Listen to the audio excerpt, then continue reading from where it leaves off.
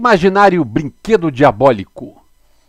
Imaginário Brinquedo Diabólico, que nome horroroso. Bora pro novo terror da Blumhouse. Vamos para a sinopse do IMDB.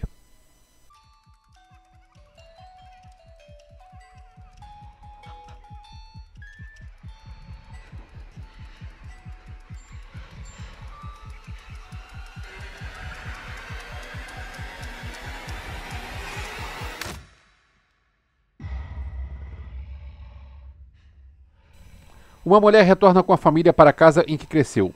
Sua filha mais jovem logo fica pegada a um ursinho de pelúcia que ela encontra no porão. Apesar da interação parecer divertida, a situação não demora para se tornar sinistra.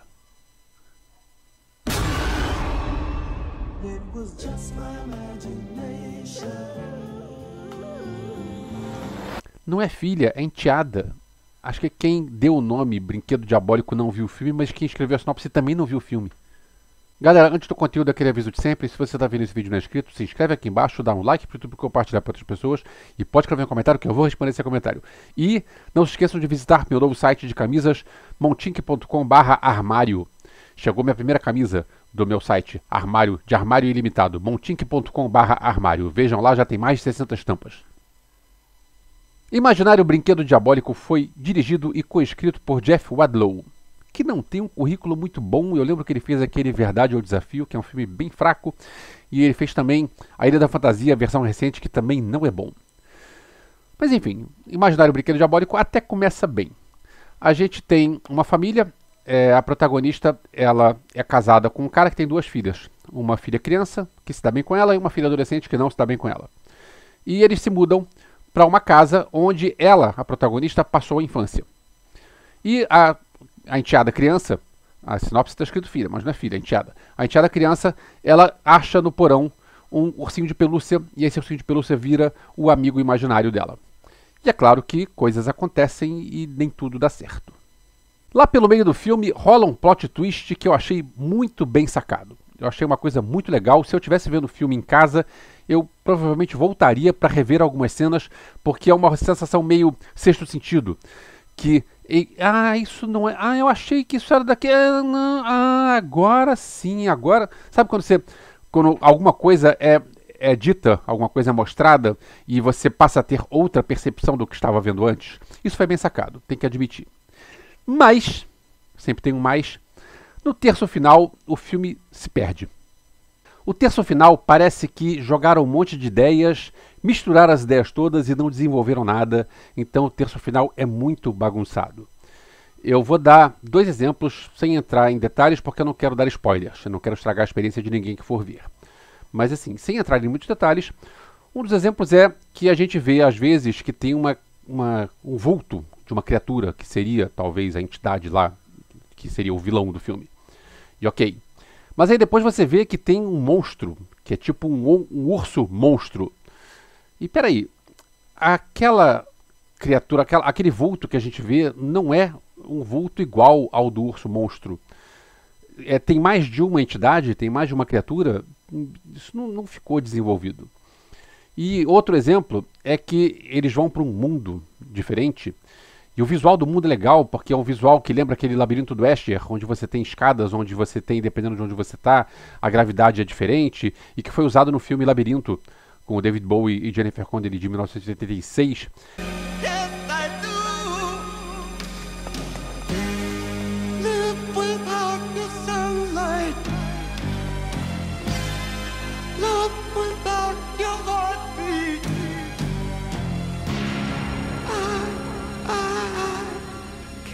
E a gente pensa que em 1986 eles conseguem explorar bem um labirinto que tem gravidades em lugares diferentes e que funciona bem na, na figura do Esther e funciona bem no filme de quase 40 anos atrás.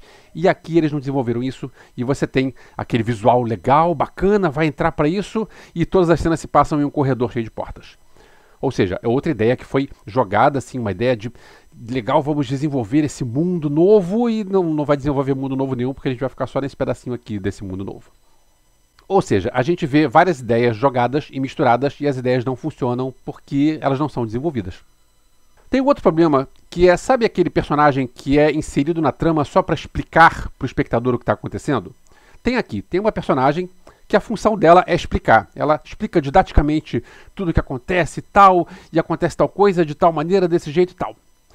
A personagem está no filme só para isso. Só que a gente está num mundo onde nada faz sentido, onde é tudo bagunçado. E aí você pensa, cara, para que, que você tem uma personagem explicando uma coisa que não faz sentido? Não precisava ter. A, a, se você tira essa personagem do filme, o filme fica melhor, porque é melhor você. Se você não consegue explicar, se você não tem uma explicação porque é tudo bagunçado, você não precisa ter um personagem perdendo o tempo do espectador tentando explicar isso. Ninguém vai entender, explicando ou não. Tira essa personagem do filme, o filme vai ficar melhor. Nem tudo é ruim, como eu falei, o plot twist é bacana e eu curti a trilha sonora do Bear McCreary, porque ele pega uma musiquinha que tipo essas musiquinhas de caixa de música que seria a musiquinha que toca no Ursinho de Pelúcia. E esse tema tocado pelo Ursinho de Pelúcia é tocado ao longo do filme em várias versões diferentes. Isso ficou bem legal.